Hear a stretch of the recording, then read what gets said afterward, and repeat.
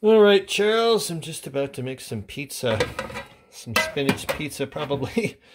Not something you'd be into, but I don't know. Maybe you would be. This is my uh, flatbread I make. Make all kinds of different flatbreads, but uh, that's one I make. Oh, shoot. I better take the pan off. Hold on. Blinkety blink. Anyways, that's it. Sorry, I'm going a bit too quick. Yep, that's it. Making some spinach pizza in my little crazy toaster oven.